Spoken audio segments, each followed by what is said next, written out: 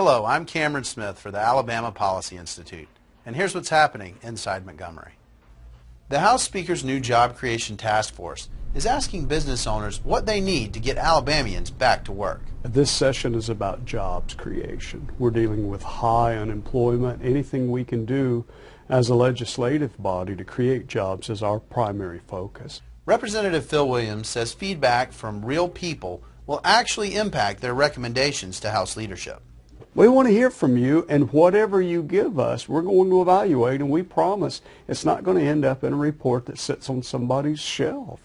We're looking to fast-track legislation, to, to look at incentives, to look at red tape removal, to look at anything. And we tell people at the forum events, there's nothing that's off the table. Come share anything that you have on your mind that would help you add one job or two jobs.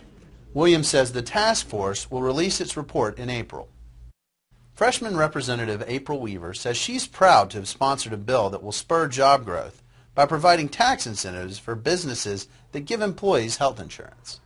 Weaver explains the details. House Bill 61 is a bill that increases the tax deduction for small businesses who provide health insurance for their employees. Well, not only does it help small businesses because they're able to now deduct hopefully 200% of, of what they provide in health insurance for their employees. For the employee, that also means that they now have an alternative. So they now have access to quality private health insurance, which could actually help take people off the Medicaid rolls and off the CHIP rolls. I was excited that we were all able to work together to do something great for the state of Alabama. Also in the third week of the legislative session, a bill emerged from committee improving access for military and overseas voters to cast ballots in state elections. We first told you about this initiative by Secretary of State Beth Chapman last year. We are not voting over the internet. We are simply getting them a ballot over the internet.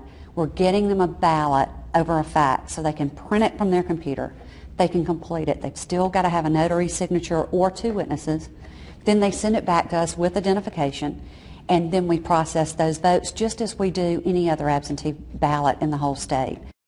On March 25th, Governor Robert Bentley signed into law a bill that ends the Deferred Retirement Option Plan, also known as DROP. The governor signed an amended version of the bill designed to avoid future legal challenges. Bentley said the action will help balance the budget by saving millions of tax dollars. House Bill 211 is a plan to require the state to provide professional liability insurance to educators. Speaker Mike Hubbard says it's designed to help teachers focus on education rather than fearing job-related lawsuits. We'll take a closer look at the bill in the next edition of Inside Montgomery. If you have any questions or comments, please send them to info at alabamapolicy.org. For the Alabama Policy Institute, I'm Cameron Smith. Thanks for watching.